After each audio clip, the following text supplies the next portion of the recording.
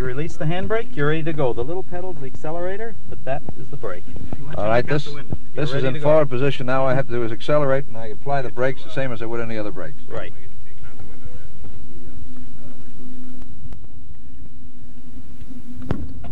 You're coasting. Turn on the motor.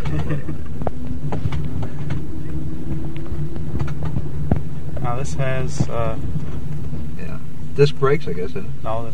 Like th- the- this has uh, a much larger It's set of brakes duty than 'cause you- come on this really make of car. You mean that the having the electric car requires a heavier set of brakes? Yes. Well, it requires not a heavier set of brakes, but this car is heavier than the original chassis. I see. So this chassis has been beefed up. I see. And you have no uh, motor compression to slow you down, so you're really Very- coast. There's very little chassis Oh, friction. The, the, the thing is remarkably efficient when you realize that you're running now on under 10 horsepower and you're you know you're going with traffic. That's great acceleration too. We're approaching a red light, so I'll put the mm-hmm. brakes on. Yes, the, here here we have a, a car that's uh, that's quite small and normally lightweight, but it feels tremendously heavy. Now, did you have to get extra heavy tires to go along with the uh, heavy batteries and the Everything load? is in keeping with the weight, which is still moderate. This car now weighs 2,380 pounds. As these cars normally, as gasoline production cars are delivered from the factory, they're about 1,680 pounds. So we've added about 700 pounds in converting from a gasoline car design to an electric car design. And that 700 pounds, incidentally, is the weight of the battery that runs this car. Well, this is a real smoothie, but there's one thing that the uh, the typical automobile driver will have to get used to. I notice when I come to a traffic light and I stop, I have the distinct impression that my engine has just stalled out on me. It's very smooth. It's wonderful. Is this the first time, Joe, you've ever uh, driven an electric car? Absolutely the first time I've ever driven one, and I think anybody could get in and do it in one second, the way I just did. Is that the only strange sensation uh, that you've noticed so far, Joe, about uh, the quiet uh, feeling that perhaps your motor's died? Well, I've I've never driven a Renault car, but I've always imagined them to be quite lightweight, and uh, this seems to be very heavy uh, for for the size of the car. And of course, you're very conscious of the heavy batteries. They look like a, a couple of banks of batteries you'd see in a in a in a large cabin cruiser, I would say. Plus that Constavolt charger or whatever they have uh, uh, back in the rear part with the motor. Incidentally, it's not a an engine; it's a motor, isn't it? Right. I think this is a matter of semantics. Uh, the motor really uh, re- replaces the engine both uh, as to weight. It's a standoff. The electric motor has been highly developed in the industry. You know, a lot of people have forgotten that diesel trains and industrial trucks the world over, particularly uh, in the last few years, many, many, uh, all, all, almost all the diesel trains and many, many of the industrial trucks use the electric traction motor, which this car uses. Uh, it's uh, a motor that uh, is very efficient. It's been very well developed. It's not the problem in the car.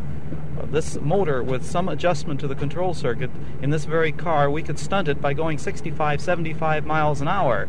The only rub is that we don't have the battery in this car that will allow it to go far enough to be a practical, everyday on the street car. If we do this, we, our range would cut down from the 40 to 50 miles that you could by careful driving at traffic speeds get now, or being more practical, maybe in the uh, metropolitan stop and go conditions. Maybe we're talking of 30 to 40 miles of keeping up with traffic.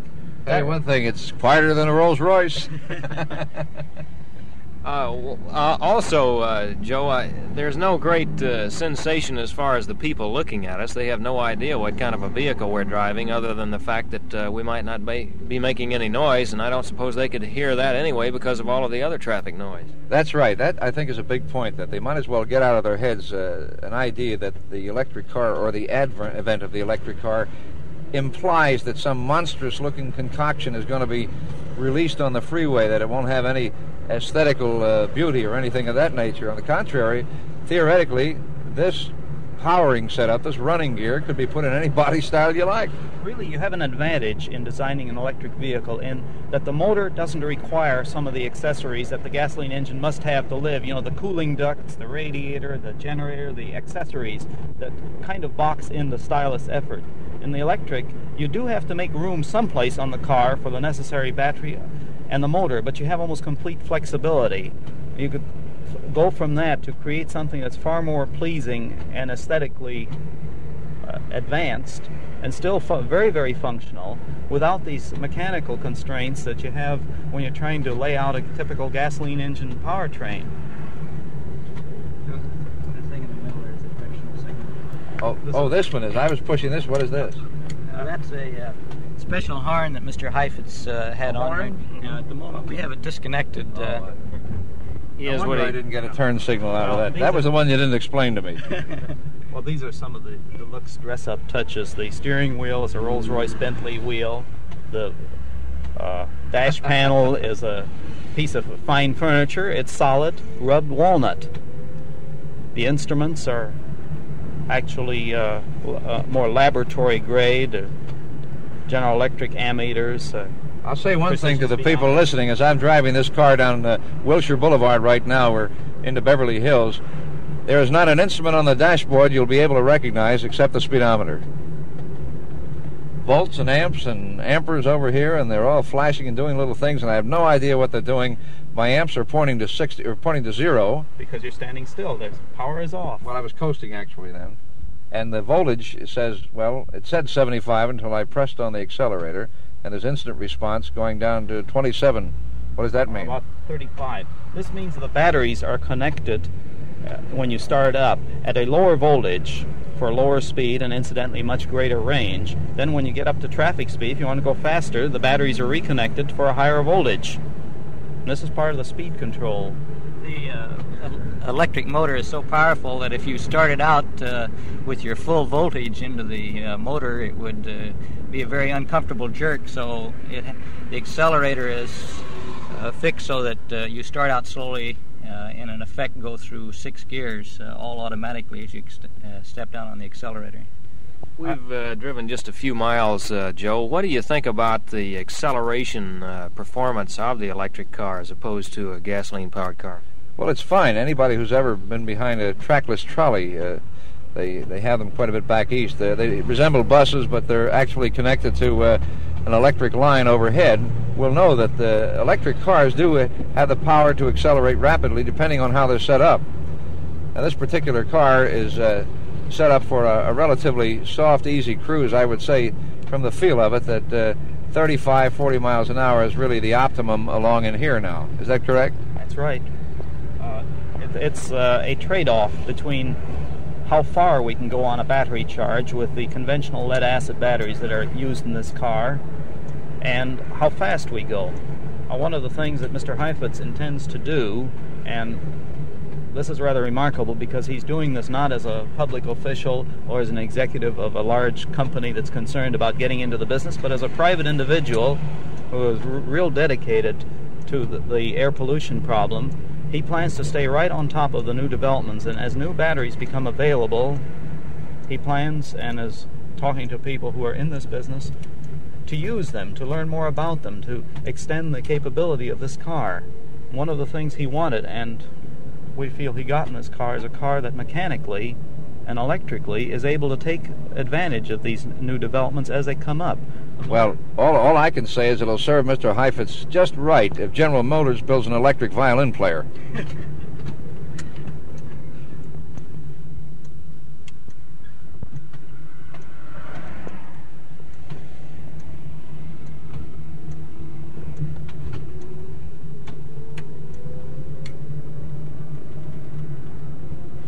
Drive it just like any other car. There's just nothing to it whatsoever. Absolutely nothing to it. Had your course and you qualify for your captain's license. Do I do, do I get an electric license? Does anybody know anything about the, what the uh, motor uh, vehicle people have to say concerning uh, electric cars and the licensing and whether they'll be cheaper to use and cheaper to license, that kind of thing? well, This particular uh, this particular car is, is licensed by the Department of Motor Vehicle. At the moment, uh, they treat them just as a gasoline uh, vehicles. There's no difference. The reason why I mention this is because in many cities, the operators of electric trolley cars do not have to have driver's licenses. Of course, they're fastened to a track. Maybe that has something to do with it. Actually, I'm just trying to turn around here and put it in reverse. Oh.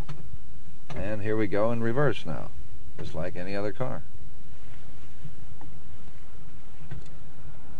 I feel like I'm in on an historic occasion, Al. well, uh, Joe, uh, we've reached the destination, uh, and you've uh, taken your first ride, your first drive in the electric car. Uh, what do you think about it?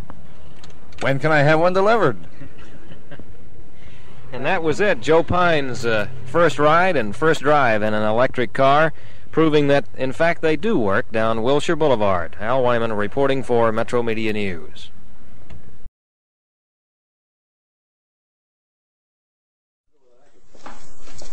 Seems to me that no matter what you do, if you do it well, or if you do it better than somebody else, you should take pride in it because that is an achievement. Many things have started with a dream. That was one of those because people said I was crazy to do this. How can you do it? Electric car. It's silly. You're wasting your money. I mean, it's. But when this car was first built, it was the first passenger car on this coast.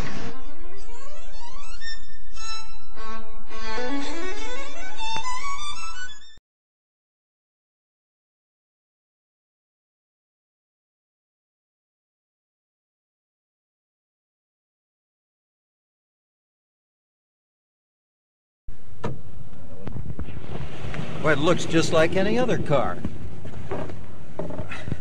This uh, instrument panel's a little different. Uh, what do we do, Mr. Borisoff? uh, we turn the key on, move the selector lever right here? Yes. You move the selector lever up to forward. Release the parking brake. All right. Okay, and you're ready to go. The accelerator's on your right, and the larger pedal is the brake pedal. That's Just all there this- is to it. Just this one here uh, to the right of the foot brake. Right. All right, here we go. Silent. Assemblyman Great. Hayes, is this the uh, first time you've ever driven an electric car? Yes, it is. It's the first time I've ever been in one.